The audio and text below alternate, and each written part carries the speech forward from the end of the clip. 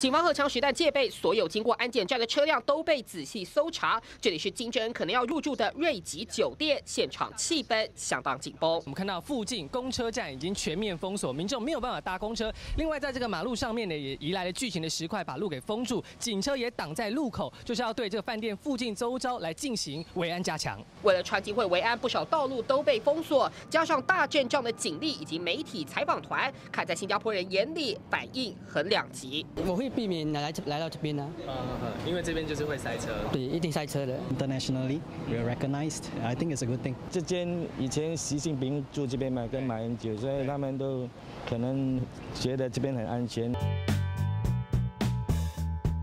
以安全著称的新加坡饭店接待重要外宾经验也相当丰富，像是这间瑞吉酒店走精致奢华路线，习近平住过的总统套房，预料金正恩也将入住。一百零五平的空间配有超大阳台，可眺望新加坡美景，住一晚要价台币二十二点三万。